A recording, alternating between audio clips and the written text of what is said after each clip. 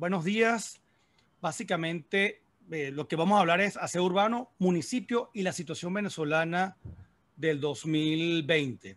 Propongo para desarrollar las ideas que vamos a, a hablar, breve agenda, y esos van a ser los puntos. El servicio público de aseo urbano y domiciliario en términos generales, luego lo que es la prestación del servicio y el pago, si es un impuesto, una tasa, una tarifa o un precio, porque eso es esencial para comprender lo que vamos a hablar, y no solamente al servicio este particular de aseo urbano, vamos a tratar de extender nuestra apreciación en términos generales. Por otro lado, la actual situación del 2020 y para que irnos acercando a lo que sería las propuestas de la solución en temas jurídicos y metajurídicos, porque como vamos a ver, esto no es eminentemente un tema jurídico. Y luego unas conclusiones. Lo primero, quiero decirles que esto es un tema sumamente interesante, preocupante, por supuesto, quien tiene que pagarlo y tiene que este, soportar las consecuencias directas, pero es interesante y amerita un estudio detallado. No solamente un tema cuantitativo de que si cuesta 100 y entonces proporcionalmente tenemos millones por ciento como la moneda, porque vemos que no se agota allí. Yo he tenido oportunidad, si ustedes pueden entrar a la página Cultura Jurídica ORG, yo he estado conversando con profesores especializados en materia iberoamericana de lo que es un municipio, lo que son servicios públicos, profesores de derecho administrativo. Voy a hablar con dos concejales. Eh, he conversado también con un expresidente de, de una empresa llamada Fospuca. Y tenemos que hay un tema que si bien nos han metido en la cabeza, bueno, que la ley dice esto, que hay que pagar, vemos que hay unas intenciones que van más allá de la idea de derecho. Tiene que ver con una realidad económica. Y la realidad económica es que en estos últimos años, quienes han echado para adelante dentro de todo y han aguantado gran carga de, llevar el país ha sido el sector comercial, más que que, que el industrial incluso. Entonces, por eso es que es sumamente importante que tengamos esto quiénes son los actores y las responsabilidades. Cuando vemos el panorama completo de lo que es el, funcionamiento dinámico de la sociedad, y más específicamente lo que estamos hablando de la parte comercial, tenemos, bueno, los ciudadanos, los que ejercen de vida activa como, como, como, como industriales o como comerciantes, y las autoridades. Resulta que cada uno de ellos, o cada uno de nosotros, tenemos una actividad y unas responsabilidades propias. Resulta que la prestación de los servicios públicos es una obligación de los municipios, o sea, el poder público general, pero más materializadamente a los municipios. Se pague o no se pague por parte de un ciudadano el concepto de tasa, contribución. Esos servicios públicos deben prestarse, punto. Eso te cambia todo lo que es el argumento que te digan, bueno, tú quieres las calles limpias, quieres esto pintado, paga. No, no, no. La obligación es de ustedes ustedes, funcionarios públicos, ente público, y como a lo mejor no puede hacerlo, usted se apoya con alguien más y celebra contratos administrativos o lo da en concesión, la ejecución de esa obligación. O sea, tú no das en concesión tu autoridad. Esto es importante tenerlo de acuerdo porque el concesionario no se puede convertir en la autoridad y el concesionario no puede ejercer una autoridad.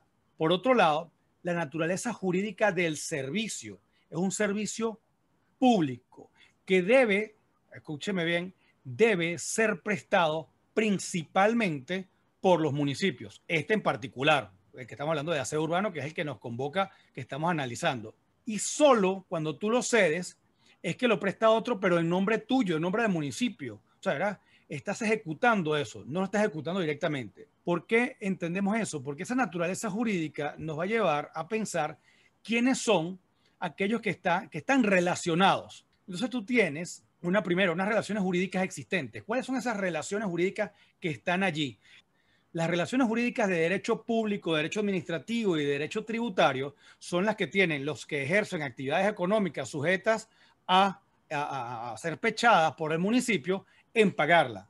Ya nos habían adelantado en la conversación anterior de que cuando yo produzco 100 y pago un porcentaje sobre ese 100, ya iba implícito todo lo que va para la carga de esos servicios públicos que se van a prestar. Y si yo facturo un millón, también está allí. Es decir, el millón más lo que tú cobras y además pretendes cobrar algo adicional es totalmente una perversión, porque todos esos servicios públicos deben estar previstos en tu presupuesto. Entonces tú harás tu planificación presupuestaria y no te puedes escapar de lo que está allí, porque a diferencia de lo que existe cuando tú hablas de precio, y estamos hablando, por ejemplo, precio mercantil civil, el propietario puede optar, el propietario del negocio, pues el comerciante puede optar en comprar este, más material, más de inventario, en pagarle a los socios, etcétera. Distinto es cuando tienes un concepto tributario, sea impuesto y sea tasa, tasa porque todavía estamos dentro del ámbito tributario, en la cual tú únicamente puedes hacer uso de conformidad a lo que esté presupuestado. ¿Por qué hablamos de que tratan de convertir eso de tasa, raya, tarifa? Porque quieres aprovecharte de que sea una suerte de concepto público, pero entonces haces tú con él lo que te da la gana. Y si hay una sentencia que te dice que, ah, bueno, eso es precio público, el precio público tú lo pagas y lo puedes cambiar siempre que tengas otra opción. Mientras que cuando es tasa, tú no te puedes salir de allí y tú no puedes ni siquiera exonerar la tasa. No nos vamos a meter en profundidad de temas tributarios, vamos a hablar con unos profesores de tributario sobre este tema en particular.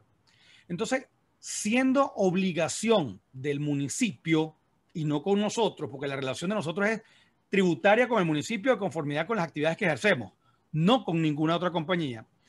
Existen otras relaciones, que es municipio con sus, con sus licenciatarios o en este caso si es una concesión, con unos concesionarios.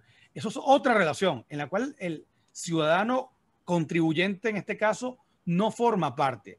Y ahí entra todo lo que es Contraloría Municipal, Control Ciudadano, para la generación de la relación contractual y, y su ejecución. Y entonces ya estamos enmarcados en lo que son los contratos públicos, licitaciones y concesiones que tienen ese marco rígido. Al margen de eso, hay las derivadas del derecho privado. ¿Cuáles son las del derecho privado? Bueno, que yo hubiese tenido un contrato, hay pues por ahí había, estaban hablando de que antes existían tres, cuatro, cinco prestadores de servicio, pero eran prestadores de servicio a los municipios, porque fueron quienes los contrataron. Si yo tuviera dos, tres o cuatro eh, servidores de este servicio público, yo pudiera decir, mira, este, te pago tanto o vamos a poner el alcance. Ya son relaciones de, contenido privado. Y también hay otro tipo de relaciones de contenido privado que es importante tener en, en cuenta, que es la de la comunidad y el condominio un condominio, una multipropiedad en el sentido de que son condóminos a proporción, eso es una relación de contenido de derecho privado. Incluso porque me preocupa mucho, nos han llamado personas de condominios y dependiendo de cómo estén organizados, digamos, a lo mejor residenciales, de oficinas o centros comerciales, si están bajo propiedad horizontal, la ley de propiedad horizontal te dice que los administradores cobran y están obligados a cobrar, son aquellos generados por el uso común.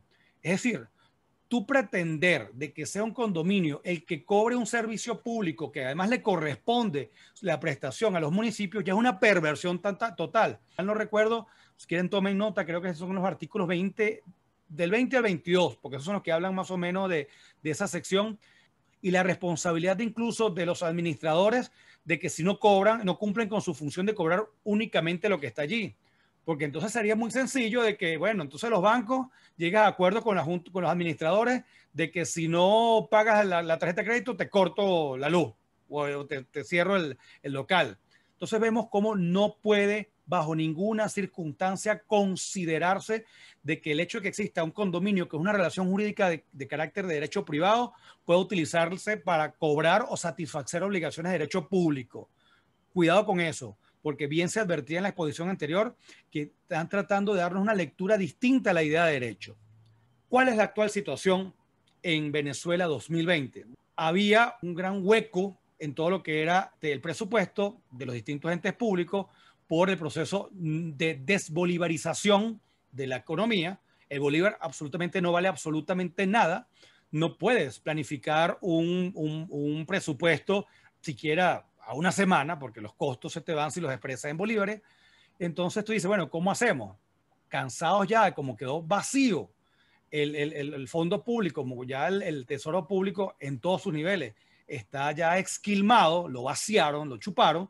Entonces, bueno, tratan de dirigir la atención a quienes en efecto, con el esfuerzo, con la dedicación y con el riesgo, han hecho algo de llevar adelante la, la, la realidad venezolana. Entonces, meterle las manos en el bolsillo. Bajo incluso el, tema de que, bueno, mira qué bonito está quedando esto, qué bonito estamos pintando las calles, podando los árboles, mira las unidades que se compraron, patrullas o qué sé yo, tipo de, de, unidades, cuando eso tenía que venir siempre del municipio. Por eso que tenemos que tener clara la exposición anterior. Una cosa son las relaciones de derecho público, de derecho administrativo municipal y tributario específicamente, y las otras son las que devienen y derivan de derecho privado que no se mezclan se unen las prestaciones porque uno paga, como le estaba diciendo, al el, contenido tributario y de ahí se nutre lo otro. ¿Qué pasa con la actividad comercial de los municipios y la importancia que tienen, que han mantenido vivo el tejido de los municipios y por supuesto de los estados y de, de la nación? Está pretendiendo de que no se recibe dinero que debería ir al municipio, y por otro lado pretende que se pague algo que no es obligación directa, no existe relación jurídica alguna directa entre los ciudadanos y la, la concesionaria, no existe. Entonces es importante eso. El hecho de que no reciban solvencias este, o los pagos y emitan la solvencia, el que está incumpliendo es el que tiene que eh, eh, emitir esa solvencia. Las propuestas. Sabemos de que esto es un tema más allá de lo jurídico porque la idea de lo eminentemente jurídico, y yo cuando a veces me toca dar clases, eh, atento mucho o, peleo mucho con aquel leguleyerismo en los cuales rimbombantes nos dicen el artículo y te sacan una gaceta y un decreto y un pocotón de cosas que no son más que alterar la verdadera idea de derecho.